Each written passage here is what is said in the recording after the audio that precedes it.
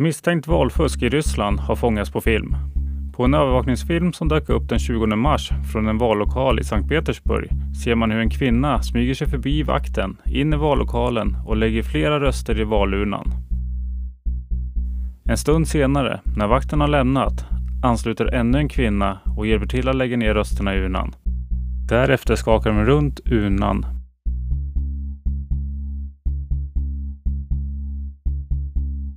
President Putin tog en jordskredsseger under presidentvalet i Ryssland. Enligt Rysslands valkommission var både valdeltagandet och Putins seger rekordhögt.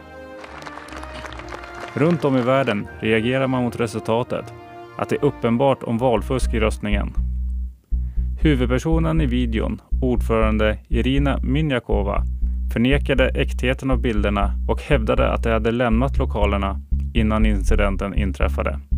Sankt Petersburgs valkommission har nu startat en utredning i ärendet.